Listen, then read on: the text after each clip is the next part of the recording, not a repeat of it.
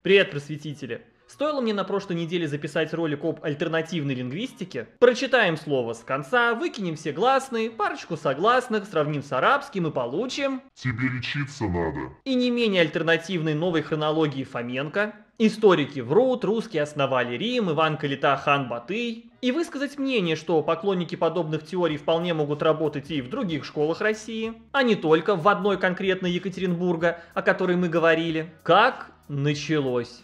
А Фоменко я знал давно. Сложно увлекаться историей и никогда не слышать это имя. Но я никогда и ни с кем о нем не говорил. Некоторую информацию лучше держать при себе. А тут сижу с друзьями в ресторане, попиваю молочный коктейльчик, и они заводят речь о новой хронологии. Важное уточнение. У меня нормальные, адекватные друзья. Они не пытались мне глаза раскрыть. Тут было «прикинь, что встретил». Окей, странно, но бывает. Просто совпадение. В этот же вечер перед сном захожу в один из своих любимых пабликов о Древнем Египте. Я огромный фанат египтологии, поэтому для меня это нормально. Читаю статью о Тутанхамоне, захожу в комментарии. Да, вот тут-то все и пошло по одному месту. Но на самом деле эта гробница принадлежала Александру Македонскому. Тутанхамона не существовало. История Древнего Египта – это подлог. Почитайте академика Фоменко. Он меня преследует. Я уже как-то рассказывал, есть у меня одно необычное хобби. Ну, люблю я заходить на личные странички всяких странных товарищей. Не стоит меня осуждать. Ну и все разные. Кто-то вон до сих пор поступает на факультет международных отношений и на что-то надеется. Не, ну с другой стороны, Северной Кореи тоже кто-то отношения должен устанавливать. Читаешь комментарии о толстой уродливой Селене Гомес, которая, кстати, борется с волчанкой. Переходишь на профиль критика. Вау. Все как в лучших домах Парижа. Красоточка. Вот из э, Тутанхамона не существовало, произошла та же история. Кто же это написал? Мужчина, 30 лет, закончил исторический факультет, Екатеринбург. Люди, слушайте, что у вас там происходит? Может, с водой что-то не так? Место работы средняя школа, а вот и фотки с учениками. Учитель истории не верит в историю. Я же говорю, они меня преследуют. Стоило мне снять ролик о Фоменко, как вокруг стала появляться либо информация о нем, либо его фанаты. Тут даже не знаешь, что хуже. Наверняка и у вас было что-то подобное. Ну, только не с альтернативной наукой. Ты узнаешь что-то новое, и уже буквально на следующий день начинаешь замечать, что снова и снова натыкаешься на эту информацию. Когда мы раз за разом слышим по радио, в магазинах, просто на улице, по барам масти, твои глаза лободы. Ну ладно, последнюю композицию в России уже не особо часто встретишь. Или «Я узкий шамана», это не вызывает у нас удивления. Хиты так и работают. Но когда ты открываешь для себя не особо популярную группу 70-х, о которой до этого вообще ничего не слышал, и через несколько дней их альбом включает таксист, а потом оказывается, что твоя коллега их любит, это вызывает удивление. Как это работает? Только вчера подписался на блогера, и вот уже в Твиттере кто-то его упоминает. Но до этого я его имени вообще ни разу не встречал. Так что, за нами все-таки следят? Следят, но дело не в этом. Как и у практически всех удивительных эффектов нашей психики, у этого тоже есть название и даже логическое объяснение. А вот что это, узнаем сразу же после сообщения от спонсора этого выпуска. А правда было бы здорово, если бы можно было начать осваивать новую профессию уже сейчас, а первый платеж сделать только через 6 месяцев, когда уже появится возможность получить деньги на новом месте работы. Похоже, именно так и решили в Skillbox. Проходишь курс профессии Data Scientist, и уже через полгода обучения можно устраиваться на стажировку. Набираешься опыта, и вот ты мидл зарплатой от 200 тысяч. Мы в 23 году, так что про льготы для IT-специалистов тоже забывать не стоит. Обучение начинается с освоения базовых инструментов для работы. Python, SQL, Excel, Power BI, Airflow, так что подойдет даже людям без опыта в IT. Таким как я. Вы можете выбрать одну из трех специализаций. Специалист по машинному обучению, дата-инженер и аналитик данных. Огромный пласт практики и три больших проекта для портфолио, конечно же, тоже присутствуют. Ну а если возникнут сложности, на помощь придет личный наставник. Кроме того, вы получите карьерную консультацию и помощь в подготовке к собеседованию. Убедиться в эффективности обучения в Skillbox можно по многочисленным положительным отзывам. Переходи по ссылке в описании, используй мой промокод Остапов и получи 60% скидку. Начни свой путь в IT уже сейчас. В 1994 году в американской газете появилась заметка о том, что человек дважды за один день услышал о банде Бадера Майнхоф. Что это за банда, спросите вы? И точно такой же вопрос возник и у героя статьи. Оказалось, что это немецкая террористическая организация. Прощай, монетизация, сказал бы я после этих слов. Но какая монетизация в 23 году? Никогда до ни о и Майнхоф человек не слышал. А тут дважды за один день. Где Америка 90-х и где немецкая банда 70-х?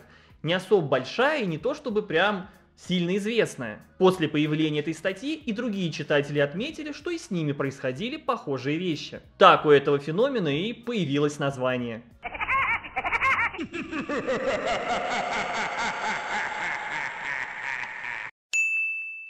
Суть феномена Баадра Майнхоф в том, что люди начинают повсюду замечать то, о чем недавно узнали. И вот это повторное столкновение с новой и, казалось бы, редкой информацией и вызывает это странное чувство. За нами следят. Наш мозг отлично умеет не замечать то, что ему не нужно. Мимо нас ежедневно проходит огромное количество информации и, по сути, информационного шума. И наша психика нас от этого успешно защищает – но если акцентировать наше внимание на чем-то, даже вроде не особо важном, мозг также отлично будет эту информацию вылавливать. Если я вас сейчас попрошу не думать о розовом слоне. Слышь, не думай. Именно розовый слон, скорее всего, в ваши мысли и проберется. Хотя вы отлично понимаете, что это бред какой-то. Но вас заставили сконцентрировать на этом внимание.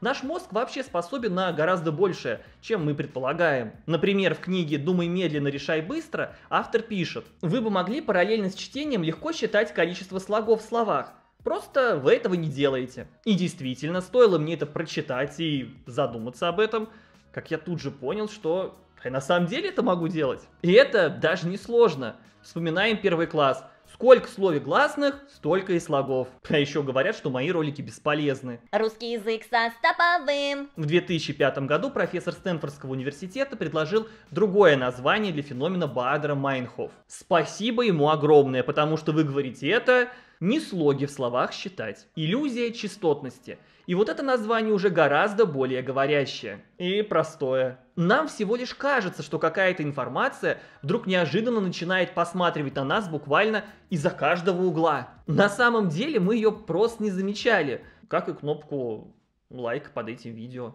И теперь же вы испытываете непреодолимое желание нажать на нее? Нет?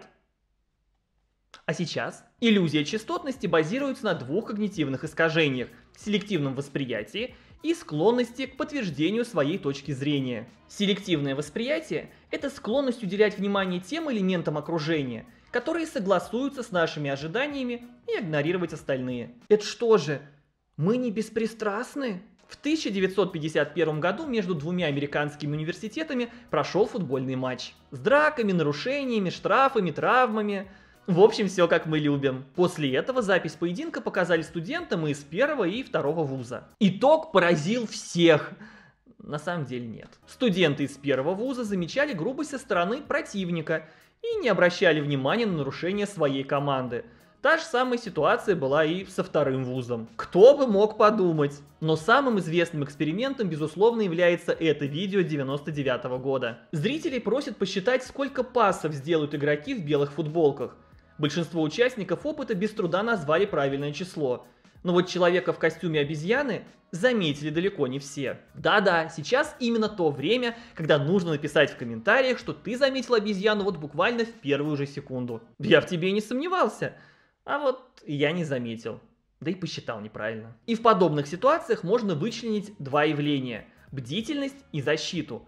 Первое заставляет нас вычленять что-то, а второе, соответственно, игнорировать. Поэтому, когда в следующий раз будете удивляться, что этот товарищ не замечает, что его используют, водят за нос, изменяют, это же очевидно. Вспомните эту особенность нашей психики. Когда мы во что-то эмоционально вовлечены, Nintendo Switch, активно поддерживаем какую-то точку зрения, Switch лучшая консоль, наша психика акцентирует наше внимание на той информации, которая поддерживает нашу правоту. О, ролик «Почему Switch лучше Steam Deck?» Это и называется предвзятостью подтверждения. Только, пожалуйста, не надо консольных срачей. У меня и Xbox, и PlayStation есть.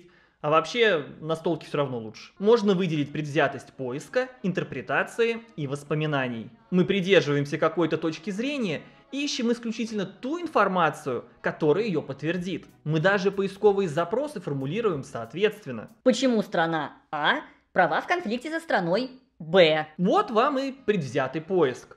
Окей. Ну, допустим, и вы, и я проанализировали какой-то независимый источник. Предположим, что такие есть. Но к выводам мы все равно пришли противоположным. Почему?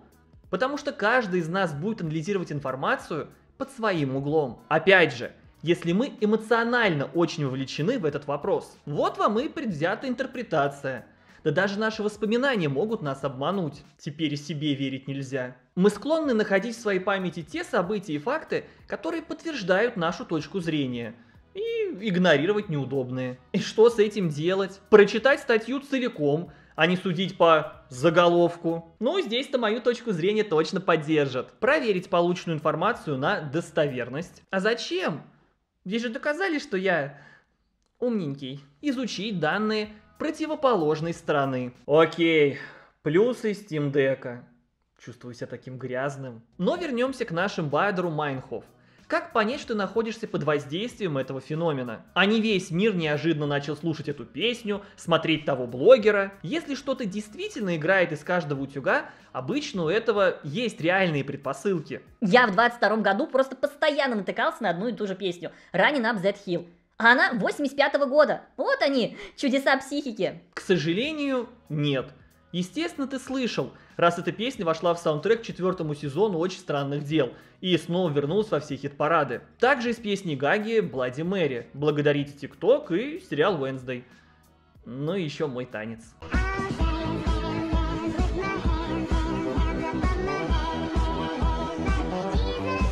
Кринж а вот если объективных предпосылок для постоянной встречи с чем-то нет, то да, вполне возможно, ваш мозг решил с вами чуть-чуть поиграть. И вот здесь должен быть отрывок из фильма «Пила».